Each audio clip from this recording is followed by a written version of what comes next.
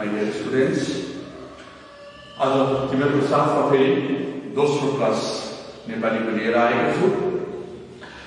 पाठको नाम अस्ति हामीले गरेको नेपाली स्वास्नी है? र त्यसको कन्टिन्युएसन आज हामी फेरि गर्नेछौँ। र अस्ति हामीले गरेको थियौँ नेपेको बिहा गरिदिन जिम्मावारले पल्लो गाउँकी केटी ठिक पारेर लगन निकाल्यो केटी चिटिक्क परेकी अनि नेपेले बिहा गर्छ। र उसले आफ्नो घरमा ल्याएर दुलै भित्र्याउँछ। अनि नेपेको घरबाट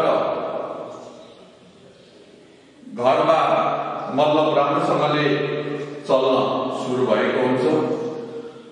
र उसलाई लाग्छ पुर्खाले गरेको चलन हामीले छाड्नु हुँदैन। भनेर पाहुनाहरू डाक्दै खुवाउन प्याउन उसले सुरु गरेको हुन्छ। र लोग्नेको यो चालचलनले नेपिकी स्वास्नीलाई दिक्क लागिसकेको हुन्छ।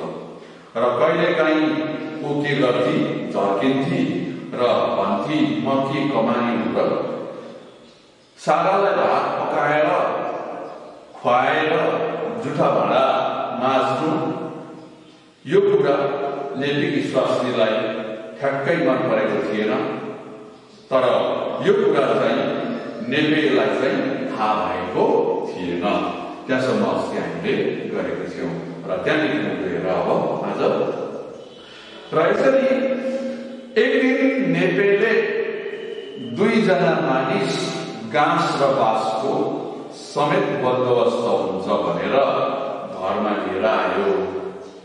है दुईजना पाहुना तिमीहरूले खाना पनि पाउँछौ बास बस्न पनि पाउँछौ घाँस भनेको खानु बास भनेको बस्नु र खानु र बस्नुको दुइटै परिबन्ध हुन्छ भनेर उसले दुईजना पाहुना लिएर आयो यो सबै नेपिकी स्वास्नीले देखि उसलाई थाहा भयो खोरेरले गर्दा गाईबस्तु मरेर नेपेको घरमा गोरस थिएन गाउँमा खोर्यात लागेको थियो है खोर्यातले गर्दाखेरि उसको घरमा चाहिँ दुध थिएन अब दुध नभएपछि गोरस भएन गोरस भनेको दही दुध घिउ आदिलाई हामी के भन्छौँ गोरस भन्छौँ र पाहुनाको विशेष सत्कार पनि अब दही दुध घिउ आदिद्वारा गरिन्थ्यो र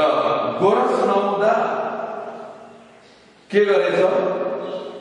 स्वास्थ्यलाई पाथी दुई एक धान कुट्नु भनी पाहुनालाई एकछिन आराम दिनुहोस् म चाँडै आउँछु भनेर नेपे गोरस खोज्न गाउँतिर पस्यो र बुढियालाई चाहिँ तिमीले के गर्नु? पाथी दुई एक धान कुट्नु है? र पाहुना चाहिँ तपाईँहरू बस्दै गर्नुहोस्? गाउँमा गएर मलाई गोरस खोजेर लिएर आउँछु भनेर ऊ गाउँमा गोरसको निम्ति गयो। र ती दुईजना पाहुनाहरू थकाइले भुतुक्क भएकोले दलानमा बिछ्याएको गुन्द्रीमा बसेर कुरा गर्न थाले। र अहिलेको पाहुनाहरूलाई अब हामी सिटिङ रुममा लगेर आदर गर्छौँ सम्मान गर्छौँ उहाँ लगेर राख्छौँ र अब त्यति बेलाको समयमा सिटिङ रुम अब थिएन यस कारणले दलानमा नै गुन्द्री अथवा पिरा ओछ्याएर पाहुनालाई बस्न दिन्थे र उनीहरू त्यहाँ बसेर गफ गर्थे। र यसरी नै त्यहाँ पनि के गरेको थियो गुन्द्री बिछ्याएको थियो र त्यो गुन्द्रीमा चाहिँ ती पाहुनाहरू बसेर एकाअर्कामा बातचित गर्दै थिए। र एकछिनपछि नेपेकी स्वास्नी च्याटिँदै पाथी दुई एक धान डालीमा लिएर दलानमा निस्कि अब पाहुना छन् घरमा चामल छैन र उसले के गरे दुई पाथी धान लिएर ओखलीमा कुट्नको लागि भनेर दलानमा ल्याइ निस्किए अब दलानमा पाहुना बसिरहेकै छेउमा ओखल थियो। ओखल भनेको धान कुट्ने अब ओखली अब काठको बनाएको हुन्छ। र त्यही ओखलमा भात धान खन्याएर मुसलले कुट्न थाले। अब त्यो ओखलमा धान हाली अनि मुसल भनेको लामो अब एउटा मतलब लौरो जस्तै हुन्छ तर अलिकति मोटो। बिचमा एउटा अलिकति समाउने भाग हुन्छ र त्यसले यसरी अब फुट्ने गर्छन्।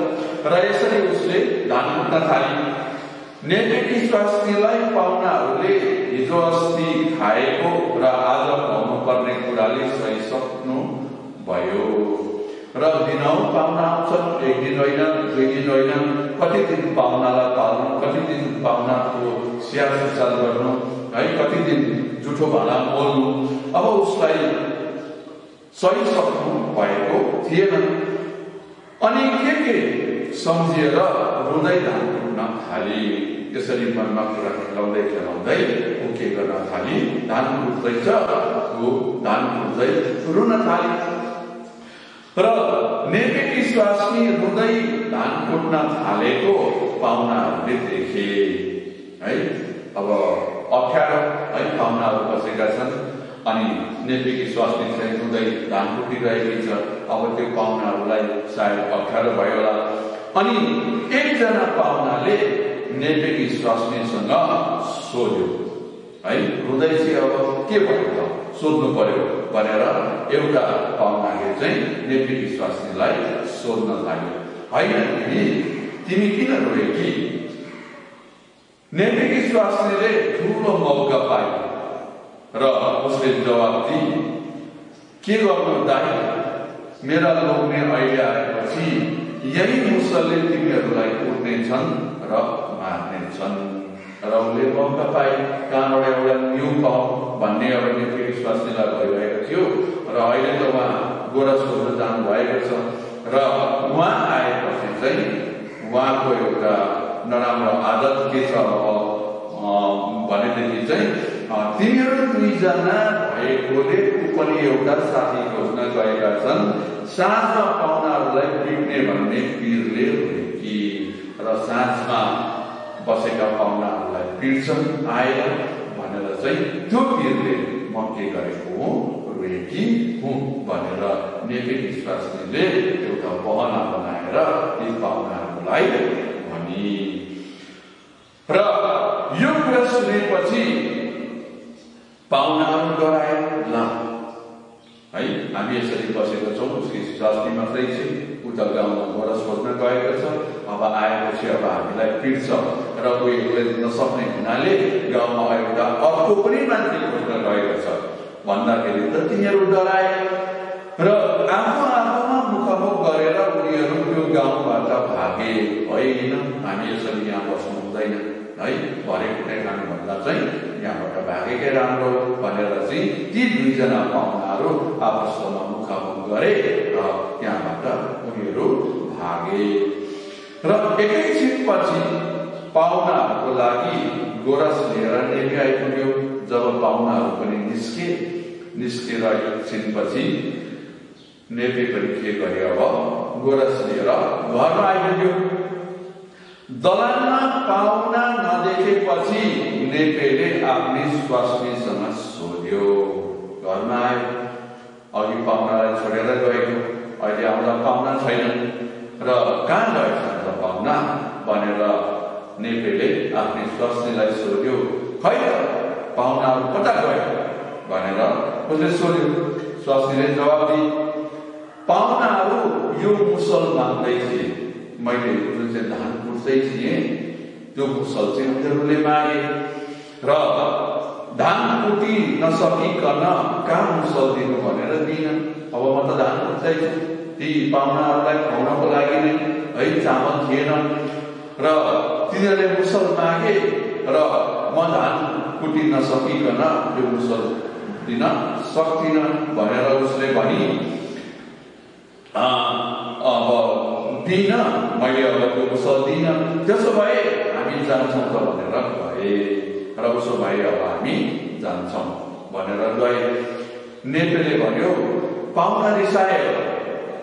भन्दाखेरि साँझका पाहुना जसरी पनि राख्नुपर्छ नि? अब नेपेले आफ्नै स्वास्थ्यलाई भन्यो मुसल दिएको भए पनि के हुन्थ्यो र पाहुना कतातिर लागे र मुसल दिए पनि के गर्नु? र है पाहुना अहिले अब कतातिर लागे लागे ऊ त्यतै डगरतिर डगरतिर लागेका छन्। डगर डगर भनेको चाहिँ सर्टकट बाटोलाई भनिन्छ अब। र भन्ने स्वास्नीको जवाब पाउने बित्तिकै मुसल टिपेर नेपे पाहुना गएतिर लगियो। र कुन बाटो गए भन्दाखेरि अब उसले डगर तिर लागेका छन् भन्दाखेरि त्यो डगरै डगर मुसल लिएर त्यो नेपे पाहुनालाई खोज्न गयो। पर पाहुनाहरू हस्यान फस्यान गर्दै गइरहेको उसले देख्यो। निकै पर पुगेपछि चाहिँ पाहुनाहरू एकदम हतारिएर कुद्दै गरेको हस्याङ र हस्याङ गर्दै कुद्दै गरेको नेपेले देख्यो। अनि नेपेले पाहुनालाई हपार्दै लौ मुसल भन्दै करायो अब लौ मुसल भन्दै अब उसले करायो पाहुनाहरू अगाडि अगाडि दौडिरहेका छन् पाहुनाले यसो फर्केर हेरेको त कोही नेपे हाल हातमा मुसल लिएर लगाउँदै पो आएको अब ऊ चाहिँ हातमा मुसल बोकेको छ अनि त्यो मुसल बोकेर चाहिँ ऊ के गरिरहेको छ दौडिरहेको छ अगाडि अगाडि पाहुना छन् पछाडि पछाडि नेते उनीहरूलाई अब उनीहरूको पछि गर्दै जाँदैछ र ती दुवैजना हातमा टोपी लिएर नरनदेखिको बल निकाल्दै पेट्रोलसँग सुई ठोके र ती दुईजना पाहुनाहरू चाहिँ आफ्नो नरनदेखिको बल भनेको छ भनेको चाहिँ आफ्नो सहयोग भए भरको बल लिएर चाहिँ उनीहरू बेतोडसँगले के गर्न थाले सुई ठोके भागे।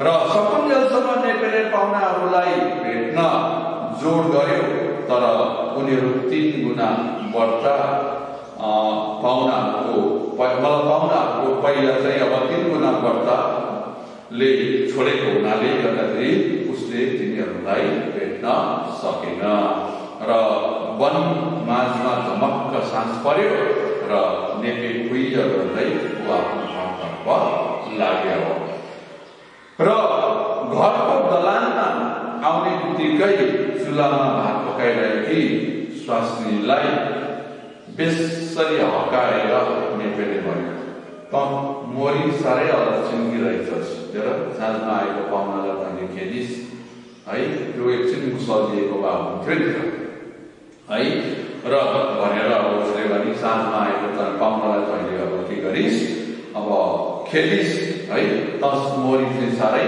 अलक्षिन्की रहेछस् भनेर उसले आफ्नो स्वास्नीलाई भन्यो र पाहुनाहरूलाई मनाएर सम्म राख्न तैँले सकिनस् है त्यसको स्वास्नी के स्वास्नी भनेर उसले भन्यो र यसरी एकछिनलाई मुसल दिएकै भए पनि त केही हुने थिएन एकछिन दिन त तिनीहरूलाई मुसल के हुन्थ्यो त अब भन्दाखेरि म आएपछि त धान कुटिहाल्छु नि है म घर आइपुगिहाल्थेँ छिट्टै आएपछि अब म पनि धान कुटिहाल्ने थिएँ र नेट दलालमा बसेर तेरो लिँदै कराइरहेको थियो भित्र स्वास्नी चाहिँ मनमा नै हाँस्दै थिए है अब लोक्नेले अब उडाइरहेको थियो र भित्र चाहिँ स्वास्नी भात पकाउँदै म नेपेको कुरा सुनेर हाँस्दै बसिरहेकी थिएँ। तर नेपेको कुरा स्वास्नी चाहिँ सुनेको नसुनेकै गरी है र भान्सा त्यति बेला तयार भइसकेको थियो। भान्सा भनेको खाना तयार भइसकेको थियो भन्दै अब नेपेको छेउमा आम खोरा राखिने आम खोरा भनेको लोटा र यसरी पानी दियो अब लोटामा खाना खानुको लागि तै पनि नेपेलाई पाहुनाको सम्मान गर्न नपाउँदा थप थप लागिरहेको थियो र यसरी अब उसलाई बेलुका पाहुनालाई सम्मान गर्न नपाउँदाखेरि उसलाई थप थप लागिरहेको यसरी नै यो एउटा कथा यहीँ टुङ्गिन्छ र अब यसको कामहरू अस्ति नै मैले तिनवटा प्रश्नहरूको क्वेसन एन्सर बनाएर तिमीहरूलाई मैले दिएको थिएँ र अरू क्वेसनहरू पनि छन् र यी क्वेसनहरू पनि म तिमीहरूलाई के